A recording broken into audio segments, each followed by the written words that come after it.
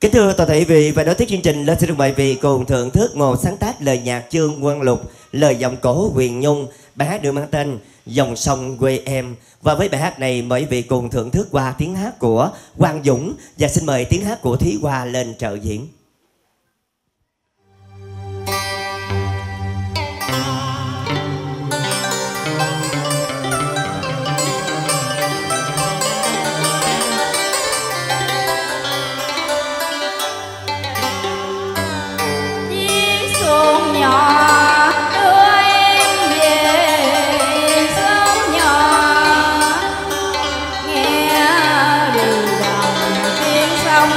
dẫu gần xa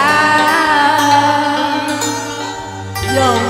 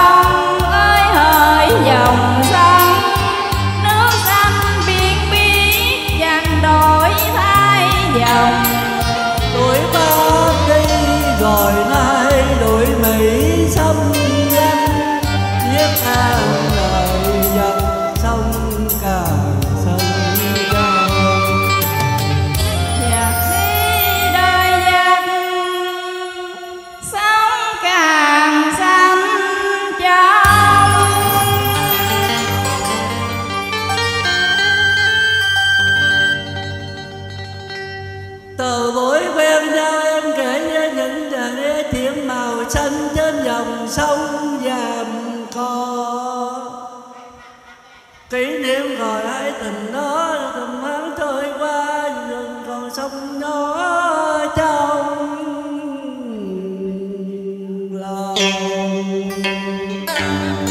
you.